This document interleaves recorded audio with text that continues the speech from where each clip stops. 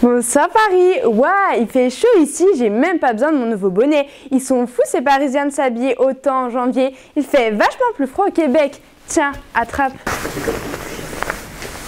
Ah, merci, mais ça ne risque de ne pas être suffisant. Eh, on se caille ici. Le Québec en hiver, c'est autre chose que Paris. Je vais tomber malade, moi. Pour expliquer les climats, nous avons fait un modèle. Dans celui-ci, la lampe représente le soleil et la plaque percée nous a permis de faire les rayons de taille identique. Si la Terre était plate et ronde, les rayons du soleil éclaireraient tous la même surface, comme on peut le constater. La température sera donc la même partout. Or, ce n'est pas le cas. En effet, la Terre est une sphère, donc les rayons du soleil éclairent une, sur- une surface plus grande au niveau des pôles. La chaleur est donc plus dispersée, alors qu'à l'équateur, la chaleur est donc plus concentrée. C'est donc pour ça qu'il fait plus chaud à l'équateur qu'au pôle.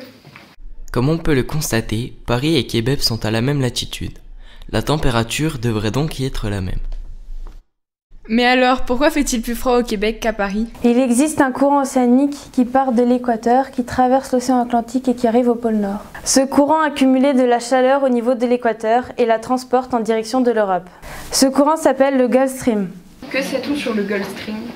Alors le Gulf Stream, c'est un courant chaud qui se déplace en surface à environ 300 mètres de profondeur à la vitesse de 9 km par heure.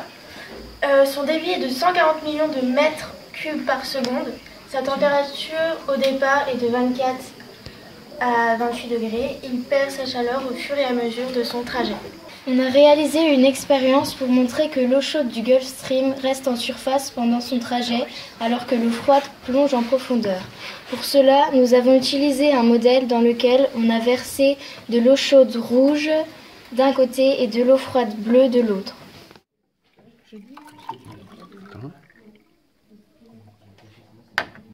On constate que l'eau chaude circule dans le tuyau du dessus et reste au-dessus de, de l'eau froide. On voit le contraste chaud-froid.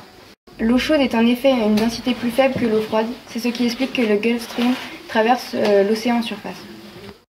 Ah ok, j'ai compris. Mais comment expliquer la trajectoire de ce courant?